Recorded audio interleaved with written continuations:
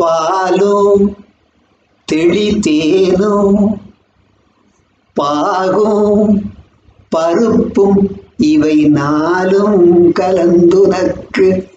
நான் தருவேன் கோலம் செய் துங்க கரிமுகத்து தூமணியே நீ எனக்கு சங்கத்தமிழ் மூன்றும்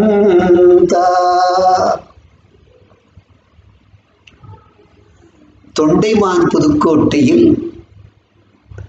சீரும் சிறப்புமாக அமைந்துள்ள ஜே ஜே கலை அறிவியல் கல்லூரியின் நிர்வாகம் பத்து நாள் பயிலரங்கம் ஒன்றுக்கு அனுமதி அளித்துள்ளது அதற்காக மேன்மை மிக்க அரங்காவலர் செயல்வர் அவர்களுக்கு நம்முடைய நெஞ்சம் நிறைந்த நன்றி பெருக்கினை தெரிவித்துக் கொள்வோம் பல வகைகளிலும் பயிலரங்கத்துக்கு ஊக்கமும் உற்சாகமும் அளித்த மதிப்புமிக்க முதல்வர் அவர்களுக்கு மனம் கனிந்த மரியாதையை செலுத்துவோம் தமிழ்துறை பத்து நாட்கள் பயிலரங்கத்தை நன்னூல் பற்றிய பயிலரங்கத்தை நடத்துகின்றது அதன் ஒருங்கிணைப்பாளராக தமிழ்துறை தலைவர் முதல்வர் தயாநிதி அவர்களும் இணை ஒருங்கிணைப்பாளராக முனைவர் கோவிந்தன் அவர்களும் அல்லும் பகலும் அயராது பாடுபட்டு சேவை செய்து வருகின்றனர் அவர்கள் இருவருக்கும் மற்றும் தமிழ்துறையை சார்ந்த அனைத்து ஆசிரியர் பெருமக்களுக்கும் நம்முடைய நன்றி கலந்த வணக்கங்களையும் மரியாதைகளையும் மனமுருகி தெரிவித்துக் கொள்கிறோம் நானும் ஆங்கில ஆசிரியர் என்னை இன்றைய பேச்சாளரை அறிமுகப்படுத்த ஆணையிட்டுள்ளார்கள் என்ன பொருத்தம் என்றே தெரியவில்லை மொட்டை தலைக்கும் முழங்காலுக்கும் முடிச்சு போடுவது என்று சொல்வார்களே அது இதுதானோ ஆனாலும் பொருத்தம் ஒன்று உண்டு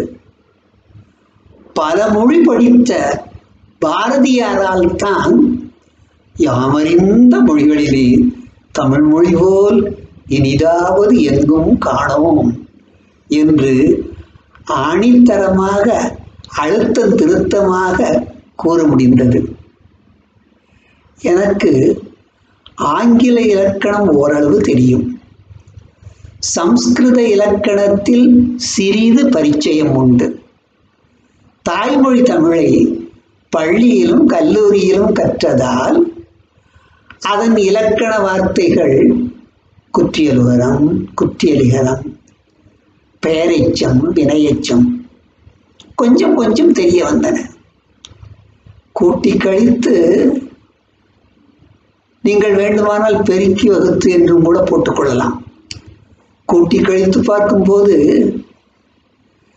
கம்பவாரதி இலங்கை ஜெயராஜ் அவர்களின் கூற்றுதான் எனக்கு நினைவுக்கு வருகிறது மறுபிறவி என்று ஒன்று உண்டானால் நான் தமிழனாகத்தான் பிறக்க வேண்டும் அத்தகைய கற்பக விருட்சம் நம் செந்தமிழ் தாய்மொழி அதில் உள்ள இலக்கியங்கள் எண்ணில் அடங்கா இலக்கண நூல்களோ பல பல ஆங்கிலத்தில் ரெண்டன் மார்டின் கிராமர் புக் ஒன்றுதான் எல்லோருக்கும் தெரிந்தது மிஞ்சி மிஞ்சி போனால் living English structure by Stannard Allen practical English grammar by Thomson Martinet. Remedial English grammar by F.T. நம் தமிழ் மொழியில் உள்ள இலக்கண நூல்களோ வரையறுக்க இயலாதவை என்று தோன்றினாள் தாய் என யாராலும் அறுதியிட்டு கூறாத நிலையில் இறைவனிடமிருந்தே தோன்றியவள்தான் நம் தமிழன்மை என்று கூறுகிறோம் அகத்தியரின் இலக்கண நூல் அவரது சீடரான தொல்காப்பியரின் தொல்காப்பியம் அதனை முதல் நூலாக கொண்ட நன்னூல் நாற்கவிராச நம்பி இயற்றிய நம்பி அகப்பொருள் ஐயனார் எழுதிய புறப்பொருள் வெண்பா மாலை அமுதசாகரின் யாப்பெரும் கலக்காரிகை தண்டியின் தண்டி அலங்காரம் இந்த இலக்கண நூல்களுக்கெல்லாம் உரை எழுதிய உதயாசிரியர்கள் பலர் மயிலைநாதர் முதல் ஆறுமுக நாவலர் உட்பட பத்து நாள் பயிலரங்கம் நன்னூல் பற்றியது நகரமும் நகரமும் உச்சரிப்பில் ஒன்றுபோல் தோன்றியது என் தமிழாசிரியர்கள் அவற்றை தன்னகரம் என்றும் ரன்னகரம் என்றும் வேறுபடுத்தி காட்டினர் இப்ப உள்ள பிள்ளைகளுக்கு ரெண்டு சுழி நா என்றால் தான் தெரியும் ஆங்கிலத்தில் டிடிக்கு வித்தியாசம் தெரியாமல் குச்சி டீ என்றும் குண்டுடி என்றும் சொல்வார்களே இந்த மாணவர்கள் அது போலத்தான் சமீபத்தில் தான் தெய்வத்தின் குரல் என்ற புத்தகத்தில் படித்தேன் பழைய காஞ்சி சங்கராச்சாரியார் அவர்கள் ந நவின் சூட்சுமத்தை அதில் உள்ள வேறுபாட்டை கூறுகிறார் தன்னகரம் மேற்பல் வரிசையின் பின்பக்கத்தில் நாக்கு ஒட்ட வரும் நா ரந்தகரம் நாக்கு சற்று உள்வாங்கி மேல் அன்னத்தை தொட வரும் இத்தகைய விவரங்கள் எல்லாம் நாம் இலக்கண நூல்களை கருத்தூன்றி படித்திருந்தால் தெரிந்திருக்கும் சமண சமயத்தை சார்ந்த பவனந்தி முனிவர் இயற்றியது நன்னூல் தொல்காப்பியத்தை முதலாக நூலாக கொண்ட வழிநூல் அது முன்னுரையாக புதுப்பாயிரமும் சிறப்பு பாயிரமும் இடம்பெறுகின்றன முன்னிறையின் முக்கியத்துவத்தை அறிஞர் ஜார்ஜ் பெர்னாட்ஷா நன்கு அறிவார் அவரது நாடகங்கள் எல்லாம் மிகச்சில பக்கங்களே தான் வரும் ஆனால் அவைகளினுடைய முன்னுரைகளோ பக்கங்கள் பக்கங்கள் என பெருக்கெடுக்கும் வாசகர்கள் முன்னுரைகளை படிக்க வேண்டும் என்றே அவர் நாடகங்களை எழுதியுள்ளார் நன்னூலின் பெரும் பிரிவு அதிகாரம் என்றும் சிறு பிரிவு இயல் என்றும் அழைக்கப்படுகின்றன எழுத்ததிகாரத்தில் ஐந்து இயல்களும் சொல்லதிகாரத்தில் ஐந்து இயல்களும் உள்ளன அனைத்தும் நானூத்தி அறுபத்தி ரெண்டு சூத்திரங்களில் எழுதப்பட்டுள்ளன சூத்திரம் என்பது பெரிய பொருளை சுருக்கமாக கொஞ்ச வார்த்தைகளில் சொல்வது பதஞ்சலி யோக சூத்திரத்தில் ஆசனம் பற்றிய சூத்திரம் ஸ்திரம் சுகம் ஆசனம் அசையாது இனிமையாக இருப்பதே ஆசனம் இன்னொரு சூத்திரம் யோக சித்த விருத்தி நிரோதகா யோகம் என்பது எண்ணற்ற எண்ணங்களை நீக்குவதே இதனையே தாயுமானவரும் எண்ணாத எண்ணம் எல்லாம் எண்ணி எண்ணி ஏழை நெஞ்சோம் பொன்னாக நீ போதும் பராபரமே இத்தகைய சுருக்கமான சூத்திரங்களில் நன்னூலை யாத்துள்ளார் பவனந்தி முனிவர் அதில் எழுத்ததிகாரத்தில் உள்ள எழுத்தியல் பற்றி உரையாற்ற வந்துள்ளார் இன்றைய சிறப்பு பேச்சாளர் நாம் எல்லோரும் கொடுத்து வைத்தவர்கள் யாருக்கும் கிடைக்காத வரப்பிரசாதம் இன்று நமக்கு கிடைத்திருக்கின்றது கவிஞர் முத்து நிலவன் அவர்களை அரசு மகளிர் கல்லூரிக்கு அருகில் உள்ள வெண்கலப்பிடாரி அம்மன் கோவில் பக்கத்தில் குடியிருக்கும் பொழுதே நான் நன்கு அறிவேன் ஆங்கில நாடகாசிரியர் ஷேக்ஸ்பியரை பற்றி சொல்லும் பொழுது மெரியட் மைண்டட் ஷேக்ஸ்பியர் என்று பாராட்டுவார்கள் பெரிய பெரிய அறிஞர்கள் கூட ஒரே திசையில் தான் ஒரே திக்கில் தான் செயல்படுவார்கள் கிரேக்க மொழியில் தலை சிறந்த நாடகாசிரியர்களான இஸ்கிலஸ் யூரிபிடஸ் சோஃபோக்லஸ் போன்றவர்களால் துன்ப நாடகங்கள் மட்டுமே எழுத முடிந்தது ஆனால் ஷேக்ஸ்பியரோ tragedy comedy tragicomedy comic tragedy dark comedy problem play romances romantic comedy sonnets என பல வகையான இயக்கங்களை இலக்கியங்களை அவரால் படைக்க முடிந்தது அதனால்தான் அவரை மிரியண்ட் மைண்டட் ஷேக்ஸ்பியர் என பாராட்டுகின்றனர் அத்தகைய பல திறன் கொண்டவர் நம்முடைய கவிஞர் முத்துநிலவன் அவர்கள் எழுத்தாளர் சிறந்த பேச்சாளர் அவர் எழுதிய நூல்கள் சிலவற்றை பட்டியலிடுகிறேன் பாருங்களேன் கவிதை தொகுப்பு புதிய மரபுகள் இருபதாம் நூற்றாண்டு இலக்கியவாதிகள் திறனாய்வு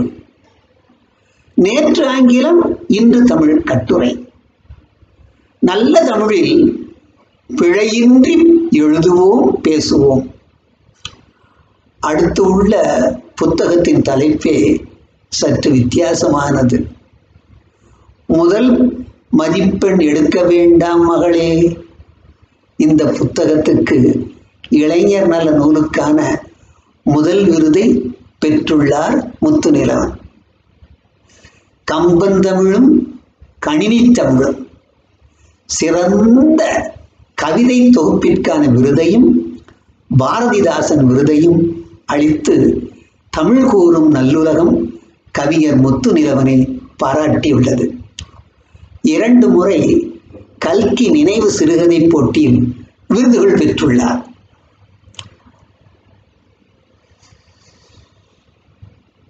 பேச்சாளர் நம் நாட்டு பேச்சாளர்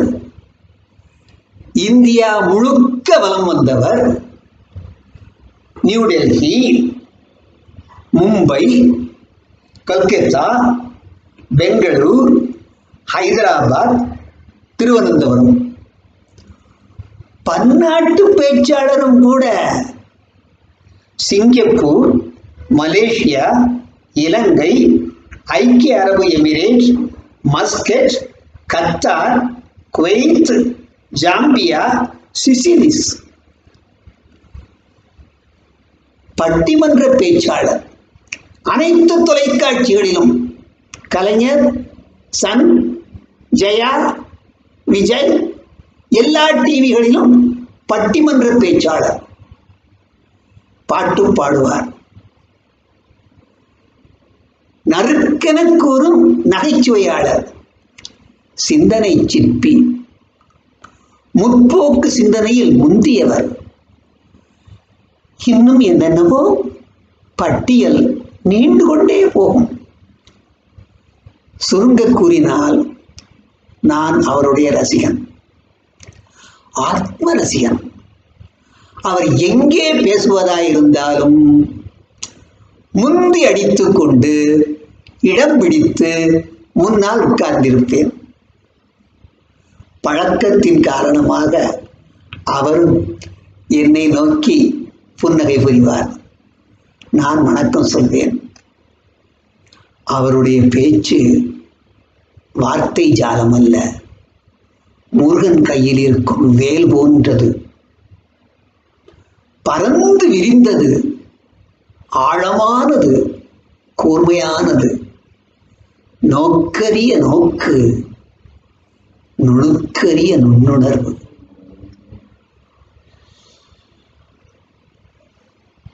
எனக்கு அவருடைய விஷயத்தில் ஒரு சின்ன ஐயப்பாடு முத்து பாஸ்கரன் என்ற பெயரை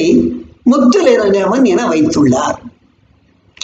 தமிழின் மேல் கொண்ட தனியார் காதலின் காரணமாக வேதாச்சலம் மறைமலை அடிகளாக மாறினார் சூரிய நாராயண சாஸ்திரி பரிதிமாற் கலைஞராக மாறினார் முத்து பாஸ்கரனும் முத்து நிலவன் ஆகியுள்ளார் எனக்கு ஒரு சந்தேகம் பாஸ்கரன் என்றால் சூரியனை குறிக்கும் யோக பயிற்சியில் சூரிய நமஸ்காரத்தின் ஒரு நிலையில்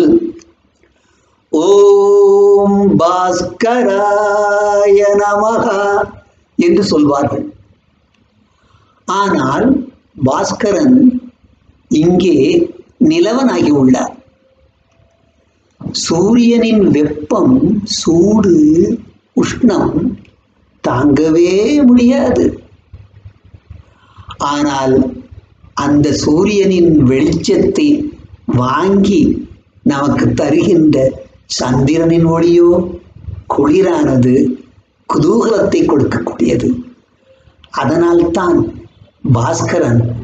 நிலவனானாரோ அவருடைய பேச்சு சிந்தனையை உருக்கும் செவிக்கு விருந்து உள்ளத்தை எல்லாம் உருக வைக்கும் கல்லும் கசிந்து கனியாகும் எனக்கு பாராட்ட வார்த்தைகளே கிடைக்கவில்லை வடலூர்